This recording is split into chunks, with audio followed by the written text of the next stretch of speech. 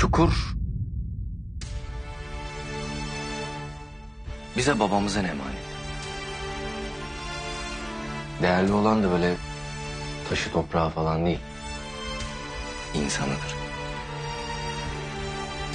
Sen çukurun mayasını bozmuşsun. Burası çukur gibi kokmuyor. Burası İdris Koçovalı'nın çukuru değil.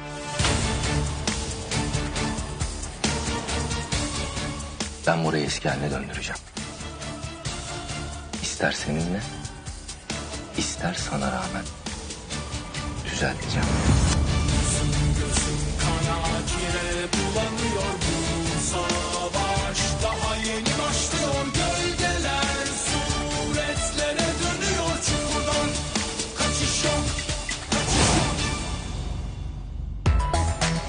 Çukur yeni bölümüyle Pazartesi Show TV'de.